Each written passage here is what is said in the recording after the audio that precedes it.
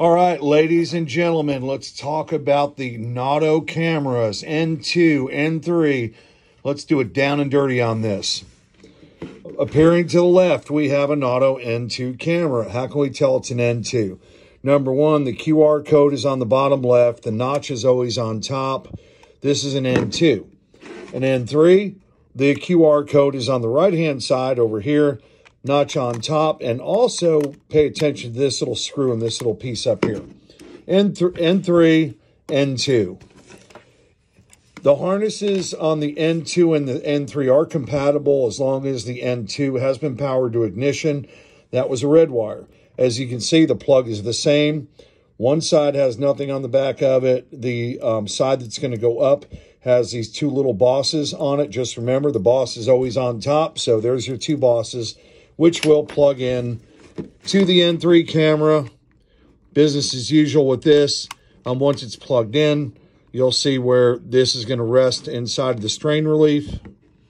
And once that's in there, we'll be able to use one of these brackets to mount to the camera. Now, all right, so we have, as they're calling them, N3 brackets, pretty much still the same. Remember, this tab is going to go towards the top of the windshield the new N3 camera is going to slide on top of this. It's kind of a bayonet mount, so it's going to slide in and then mount in, and then you push up on it. Then take your T3 driver, or I'm sorry, your T5 driver, and we're going to tighten up a screw on one side of it. Um, preferably, there's not going to be any mirror or obstruction on this side. You can do it on the right side. There's also a screw back here, as you can see. Again, T5, same size. Get this mounted up there. Your cable is going to be coming out of the top. This is going to go up on the glass.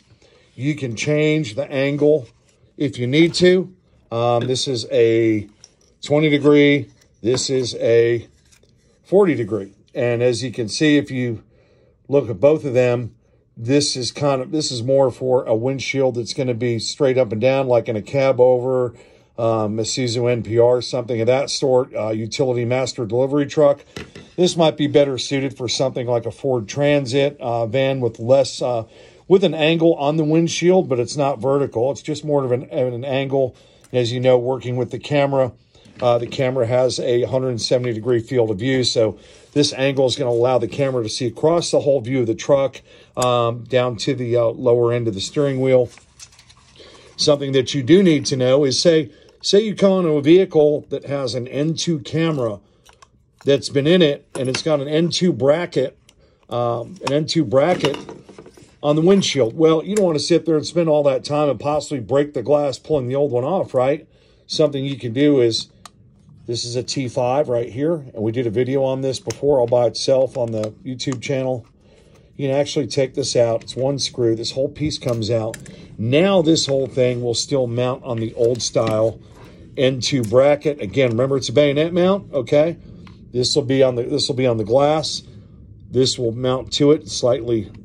You just kind of go a little bit below on it and it will lock in and then it will slide upward. Once it slide upwards and seats, all you do again is just pick a side, tighten up your T3, or I'm sorry, keep calling T3, a T5, T5 Torx, and lock it in. It'll, this is already on the glass, you're good to go. If not, you're gonna have to use the app to kind of focus the camera or set the camera up on where it needs to be. So that's that. So N2, N3, let's get that out of the way. Here's the N3 harness.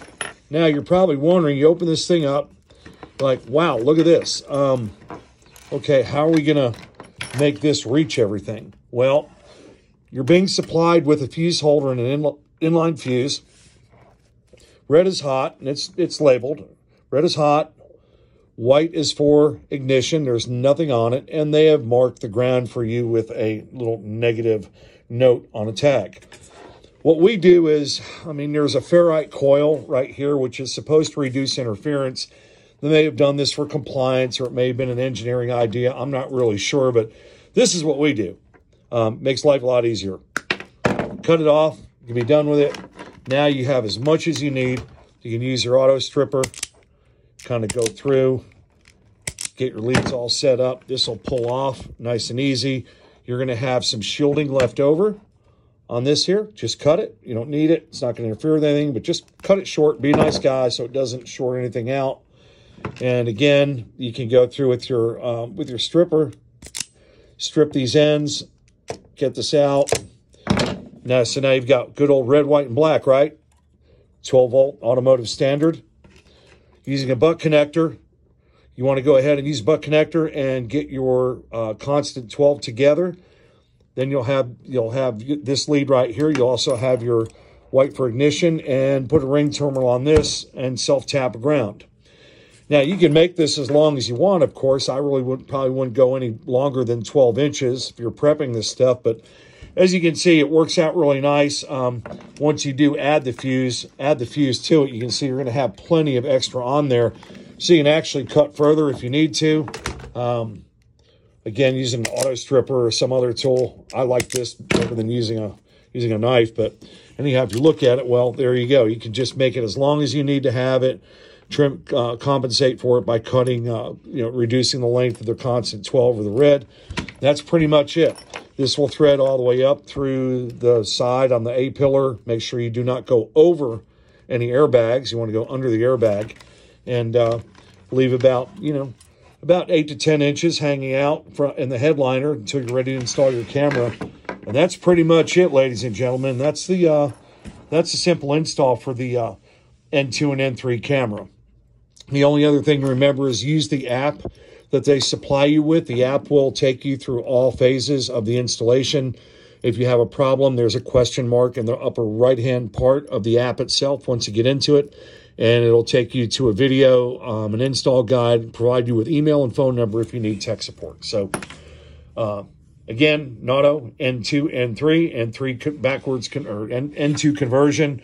Um, it's all there. Pretty simple. Shouldn't take any more than 15 minutes to do a camera swap.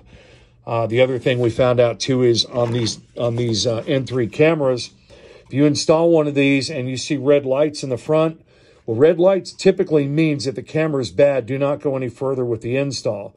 What we have found is Nauto has made a change where if you're swapping a device out and you use the app to kind of get this stuff in there, and all of a sudden the red lights come on, what they want you to do is call in to them and let them physically swap the device or RMA the device in their system, and they'll reprovision this device over the air. The red lights will go away and it'll operate as it's normally supposed to. So, if you put this in, old rule used to be red lights, you know, stop what you're doing, get rid of the camera.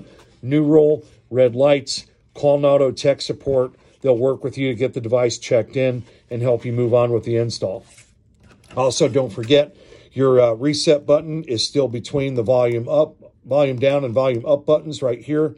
You can use a uh, paper clip to go inside and do a hard reset on the device if you need to. That's pretty much it, gang. Enjoy. Hope this helps.